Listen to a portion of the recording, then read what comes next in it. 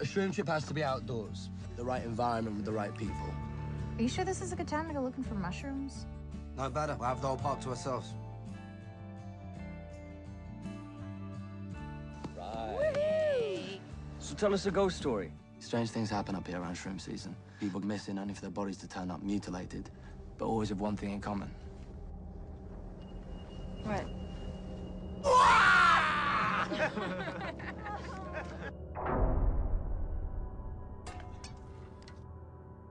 heighten the sexual experience tenfold.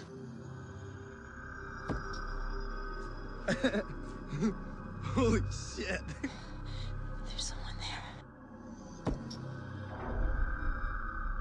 Is Bluto back? That's my conclusion. Bluto's having Force 10 visual hallucinations. He took the phones. Dick face.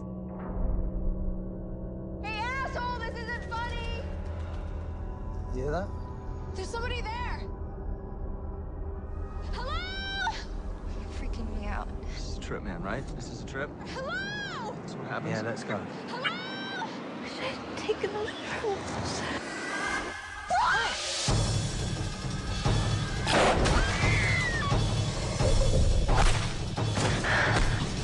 I don't know what's going on in my head, what's real and what's not.